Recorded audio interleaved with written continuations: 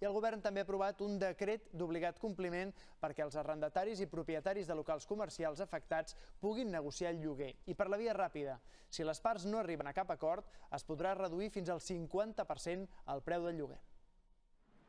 Bars i restaurants veuen satisfeta la seva demanda de repartir-se amb els propietaris dels locals les pèrdues del tancament total. Després d'un mes de negociació sense acord, el lloguer quedarà rebaixat a la meitat automàticament.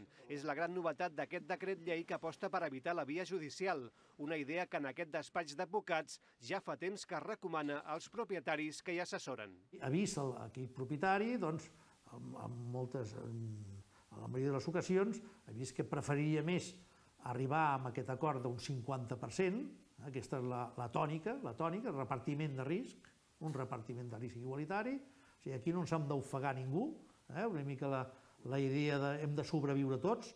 El Gremi de Restauració de Barcelona ha qualificat d'històrica la reducció del lloguer que proposa el decret llei aprovat per la Generalitat. De fet, en el mes de juliol, una enquesta feta entre els associats va deixar clar que dos de cada tres restauradors no havien aconseguit una rebaixa del lloguer, tot i haver-la sol·licitat.